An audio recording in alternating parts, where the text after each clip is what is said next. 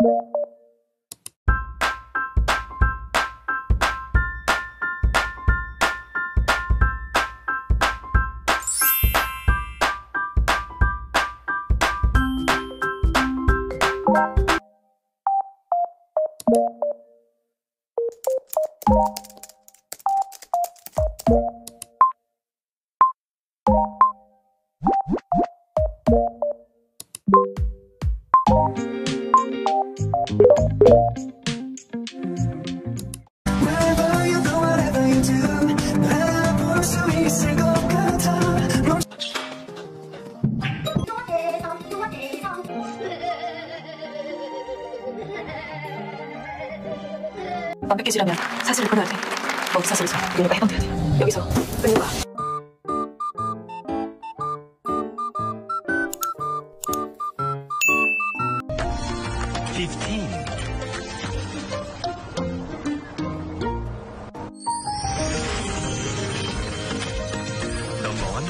그건 괜찮아. 즐거움엔